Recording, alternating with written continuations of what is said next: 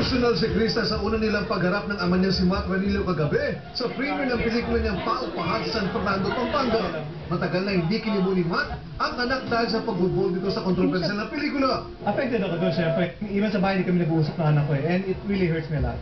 Personally, ayoko, syempre. Anak ko yan eh. Pero as an actor, kailangan mag-grow siya, kailangan lumipad siya eh.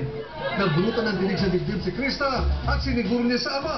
Makasining na hamon lang ang pagbabago niya ng imahe. Touch lang talaga ako. I think naman he'll be proud of me kasi quality film naman siya.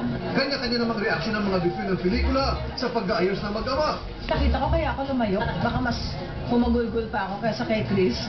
Napaka-challenging ng role niya and maganda yung pinakita ni Chris sa, sa movie. So para sa akin, deserving niyang um, masaya. It was just a big misunderstanding, but eventually, the good part is it's a happy ending.